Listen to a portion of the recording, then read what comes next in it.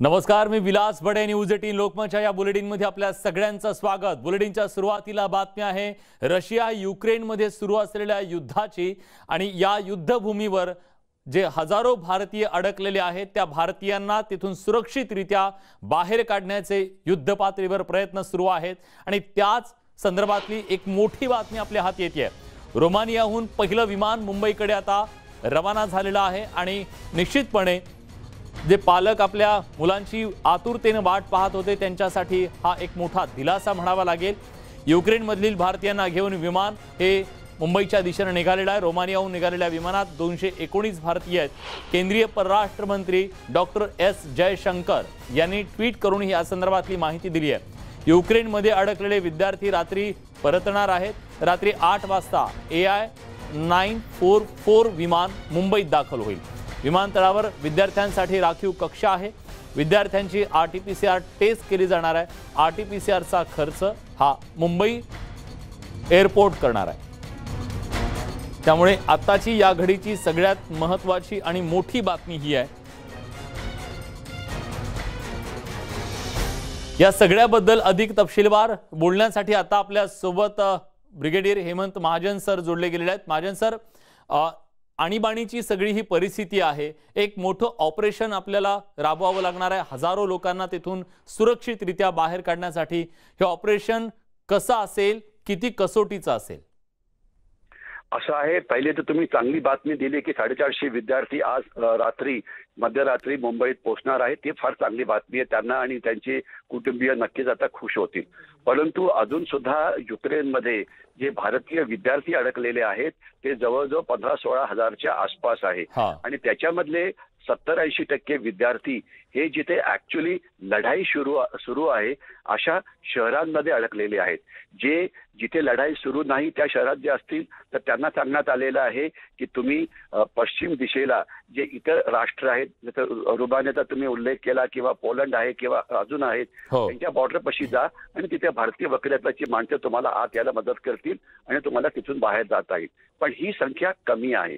दुर्दैवाने जास्त विद्यार्थी जे अडकलेले आहेत ते युद्धभूमीवरती अडकलेले आहेत. म्हणजे खास तर कीव जी राजधानी आहे युक्रेनची आणि इतर सात आठ शहरं की जिथे युद्ध सुरू आहे. तर म्हणून सध्या त्यांना सांगण्यात आलं की तुम्ही सध्या फक्त सुरक्षितच राहा.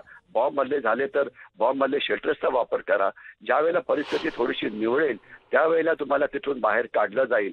आणि मग त्यांना बहुतेक जो युक्रेनचा जो पश्चिमेकडचा भाग आहे तिथे आणलं जाईल. आणि जे आजूबाजूचे देश आहेत तिथून त्यांना बाहेर काढलं जाईल. कारण सध्या त्यांना विमानाच्या मदतीने युक्रेनमधून बाहेर काढणं अतिशय डिफिकल्ट आहे. कारण लढाई सुरू आहे आणि एकुलती एक दोन जी विमान आंतरराष्ट्रीय विमानतळ होती ती आता उद्ध्वस्त झालेली आहे. तर त्याच्यामुळे बाय रोड प- अ, बाहेर काढणं हा एकच ऑप्शन सध्या तरी दिसतो आहे. अनलेस युद्ध संपलं कोणीतरी जिंकलं आणि परिस्थिती निवडली तर गोष्ट वेगळी. पण. तोपर्यंत आपल्याला बाय रोडचा वापर करावा लागेल. त्याकरता या विद्यार्थ्यांना हजारो किलोमीटरचा प्रवास करावा लागेल. आपले डॉक्युमेंट बरोबर घेऊन जावं लागेल. बॉर्डर क्रॉस करावी लागेल. आणि तिथून मग त्यांना विमानातून आपल्याकडे येता येईल. महाजन सर तुम्ही अनेक युद्ध बघितलेली आहेत जवळून. सध्या सुद्धा जी परिस्थिती जागतिक पातळीवर आहे युक्रेनमध्ये आहे याचा सुद्धा तुम्ही ज- जवळून अभ्यास करताय. तुमचा काय अंदाज सांगतोय? तुमचा अनुभव काय सांगतोय? हे युद्ध किती दिवस चालेल? आणि कधी ही परिस्थिती निवडेल? हे युद्ध किती दिवस चालेल याच्याकरता खरं एखाद्या कुठल्या तरी ज्योतिषाची गरज आहे. कारण याचे दोन महत्त्वाचे मुद्दे आहेत. एक तर युक्रेनचं जे सैन्य आहे त्यांची ताकद साडेतीन चार लाखाच्या आसपास आहे. म्हणजे ताकद भरपूर आहे. त्यांच्याकडे सगळी अत्याधुनिक शस्त्र पण आहे. त्यांना शस्त्रांची मदत इतर राष्ट्रांनी केलेली पण आहे. परंतु जे मुख्य आहे नेतृत्व आणि लढण्याची इच्छाशक्ती ती त्यांच्याकडे आहे की नाही? कारण आपण बघितलं की अफगाणिस्तानमध्ये अफगाणिस्तान सैन्य साडेतीन लाख होतं परंतु ते एक सुद्धा गोळीनं फायर करता ते गायब झालं. हो. सध्या तरी जे तीन दिवसाचं हे जे युद्ध झालेलं आहे त्यामध्ये असं दाखवतं आहे की युक्रेनचे सैनिक लढता आहेत त्यांनी रशियाच्या विरुद्ध रशियाला पुष्कळचं नुकसान पोहोचवलेलं आहे. आणि सर्वात महत्वाचं त्याचे जे सर्वोच्च नेते आहेत त्यांना अमेरिकेने ऑप्शन दिला होता की तुम्ही पळून बाहेर या पण ते म्हणतात नाही जिथे माझे नागरिक आहेत तिथेच मी लढीन आणि ते तुम्हाला सत- सतत युद्धभूमीला व्हिजिट करताना दिसत आहेत. त्याच्यामुळे सध्याच्या परिस्थितीमध्ये युक्रेन सैन्य हे बऱ्यापैकी लढलं आहे परंतु दुर्दैवाची बाब अशी आहे की ही जी राजधानी आहे या राजधानीला आता चारही बाजूनी रशियाने वेढा घातलेला आहे. त्याची वीज थांबवलेली आहे. त्याचा पाणी सप्लाय थांबवलेला आहे. त्यांनी आपले एजंट्स बॉम्ब ब्लास्ट करण्याकरता सिव्हिलियन लोकांच्या ड्रेसमध्ये आत घुसवलेले आहेत तर त्याच्यामुळे हे शहर रशियाच्या या ताकदीचा किती वेळ मुकाबला करू शकेल हे सांगता येत नाही काही अंदाज आहेत की चोवीस तास अठ्ठेचाळीस तास वगैरे परंतु हे शहर पडेल असं मात्र नक्कीच आहे की एक की दिवस की दोन दिवस हे त्या लढाईच्या युद्धामधल्या लोकांच्या शूरतेवरती अवलंबून. राहील. पण जर हे शहर जर पडलं तर यांची सगळी जर नेतृत्व आहे ते नष्ट होईल. तर त्याच्यातलं काही नेतृत्व पळून जो जो पश्चिमेकडचा भाग आहे जिथे रशिया नाहीये तिथे जाऊन पुन्हा एकदा सरकार स्थापन करेल का? तिथून या लढाईचं नेतृत्व करेल का? तर ही सगळी असे प्रश्न आहेत याचं उत्तर युक्रेनियन लोकांनी द्यायला पाहिजे आणि त्याच्यावरती सध्या काही क्लिअर कट नाही. कारण राजधानी तर पुढच्या एक दोन दिवसामध्ये नक्कीच रशियाच्या ताब्यात येईल. तर त्याच्यानंतर हे युद्ध संपेल का? की एक दुसरं सरकार दुसऱ्या शहरातून जी शहरं रशियाच्या बाहेर आहे म्हणजे रशियाच्या. कंट्रोलच्या बाहेर आहेत तिथून लढाई ही पुन्हा सुरू करतील आणि एवढंच नाही तर या प्रेसिडेंटने असं पण म्हटलं होतं की ज्या भागात आम्ही हारू त्या भागात आम्ही गोरिल्ला युद्ध म्हणजे गनिमी गावात बरोबर त्यामुळे छत्रपती शिवाजी हो, महाराज हो. कशावी करू तर हे सगळे बट्स रिप्स आहेत परंतु शूरता हे लोक किती दाखवतील नेतृत्व नक्कीच ते बघावं लागेल आणि. त्याचे उत्तर कदाचित तुम्ही म्हणालात त्याप्रमाणे काळात दडलेली आहेत पण आपण आशा करूया हे युद्ध लवकर थांबेल. धन्यवाद सर. न्यूज एटीन लोकमतशी तुम्ही सविस्तर बोललात त्याबद्दल. रत्नागिरी जिल्ह्यातल्या आकाश कोमनाक यांच्यासह भारतातील पन्नास विद्यार्थी आता बस मार्गे रोमानिया देशाकडे बॉर्डरवर निघालेत. भारतात परतण्यासाठी ते सगळे उत्सुक आहेत. आपल्या भारताकडून युक्रेनमध्ये अडकलेल्या विद्यार्थी आणि नागरिकांसाठी खास विमानाची व्यवस्था करण्यात आली आहे. आकाश आणि समृद्धी खोत या दोन एम बी बी एसच्या विद्यार्थ्यांसोबत त्यांचे इतर मित्र बसमधून प्रवास करत आहेत आजच्या विमानानं भारतात परतणार आहेत असं भारतीय दूतावासाकडून सांगण्यात आलं.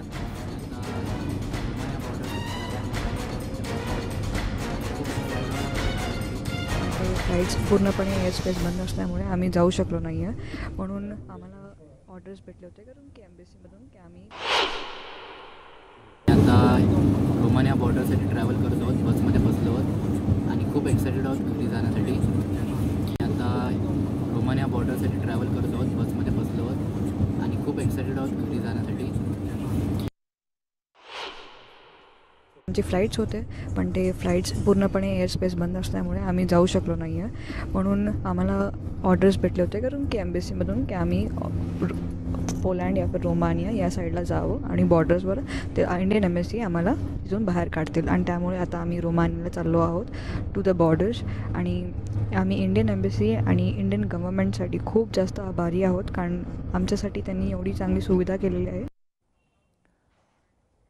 भारतातील अनेक विद्यार्थी युक्रेनमध्ये अडकलेत. आणखी आठशे विद्यार्थी युक्रेनहून रोमानियात दाखल झाले असल्याची माहिती समोर येते या विद्यार्थ्यांची बॉर्डरवर राहण्याची व्यवस्था करण्यात आली असून ते मायदेशी परतण्याच्या तयारीत आहेत.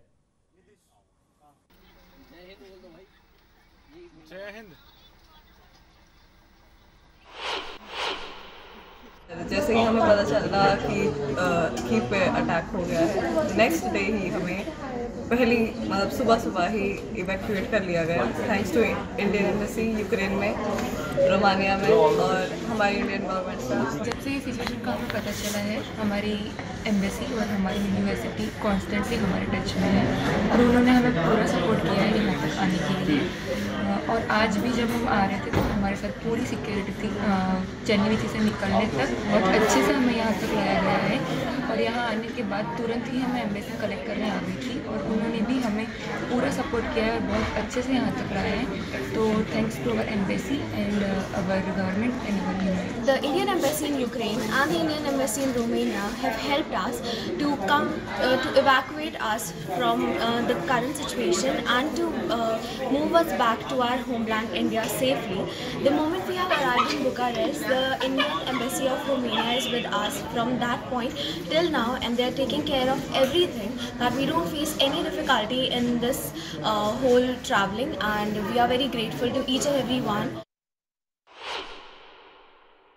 से उनको सकुशल लाने का कार्य तेज़ी से चल रहा है जैसा कि यूक्रेन के हवाई अड्डे ध्वस्त हो चुके हैं जानकारी आई है तो पड़ोसी राज्य जो हैं हमारे आपको सब पता है रात दिन अखबारों में और हमारे चैनल्स में आ रहा है उनके माध्यम से यहाँ लाने के लिए रात दिन हम काम कर रहे हैं और कई लोग आ भी गए हैं।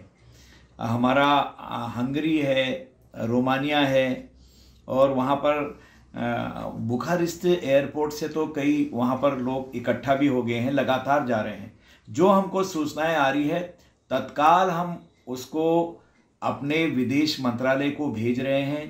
पासपोर्ट नंबर, उनका टेलीफोन, उनका एड्रेस और वहाँ जाके जो हमारे अधिकारीगण हैं, जो भी हमारे राजदूत इत्यादि, जो भी वहाँ पर हमारे अधिकारी हैं, वो सारी की सारी टीम हमारी लगी हुई है। सरकार की पहली प्राथमिकता है कि सकुशल अपने नागरिकों को भारत लाया जाए। अमेरिकेनं युक्रेनचे राष्ट्राध्यक्ष झेलेन्स्की यांना कीव सोडायला सांगितलं. झेलेन्स्की यांनी रशियाच्या विरोधात ठामपणे उभं राहणार हा जो प्रस्ताव होता तो धुडकावून लावलेला आहे. आणि आपण ज्या युद्धभूमीवरून आपले सैनिक युद्ध लढत आहेत तिथून आपण लढत राहू आणि जिंकू अशा प्रकारची भावना झेलेन्स्की यांनी व्यक्त केलेली आहे. त्यामुळे निकराचा लढा दिला जातोय. युक्रेनकडून सुद्धा रशियाच्या या बलाढ्य हल्ल्याला आणि अमेरिकेनं त्यांना युक्रेन सोडण्याचा स- सल्ला दिला असला तरी तो सल्ला मात्र त्याने धुडकावून लावलेला आहे. आणि झेलेन्स्की यांनी लढण्याचा एक निर्धार बोलून दाखवलाय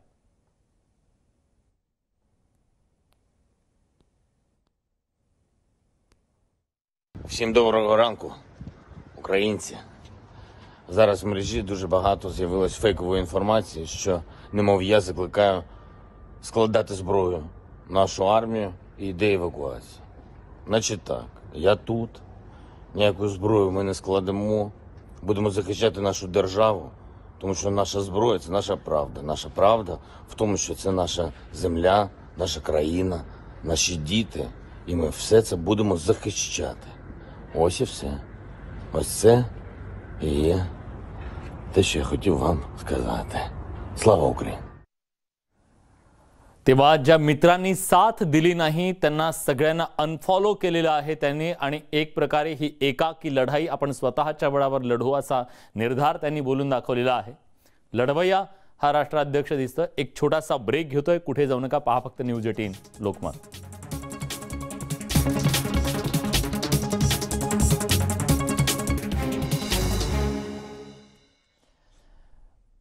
ब्रेकनंतर तुमचं पुन्हा एकदा स्वागत. तुम्ही पाहताय न्यूज एटीन लोकमतवर विशेष मोहीम मिशन पाणी. तेराव्या शतकातील संत ज्ञानेश्वरांच्या जन्मभूमीत तरुणांद्वारे एक अभियान राबवलं जात आहे ऑल वर्ल्ड गायत्री परिवाराच्या सदस्यांमार्फत हे अभियान चालवलं जात आहे दुष्काळ पडलेल्या विहिरी आणि नद्यांचं पुनरुज्जीवन केलं जात आहे पाहूया मिशन पाणीचा हा खास रिपोर्ट.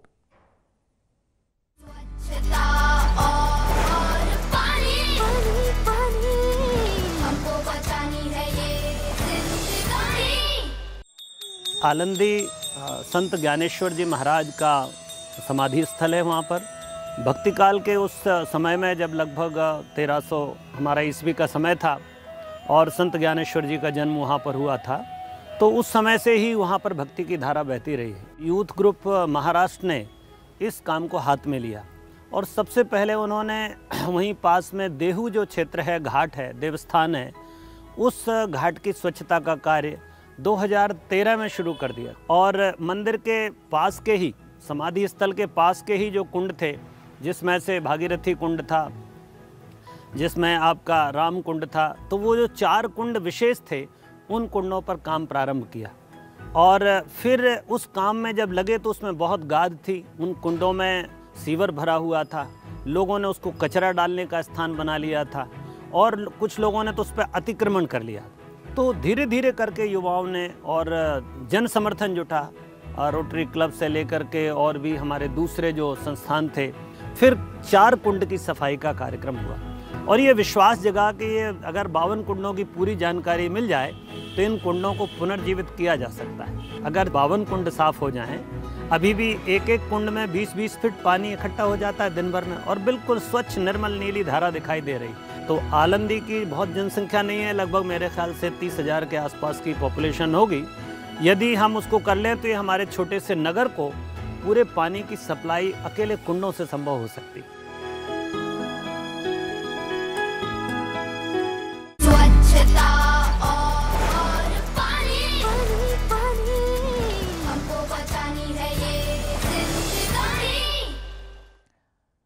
स्वच्छता आणि पाण्याचं महत्त्व सांगणाऱ्या या रिपोर्टसोबत बुलेटिनमध्ये आपण इथेच थांबतोय. ताज्या घडामोडींसाठी बघत रहा. News eighteen Lokmat.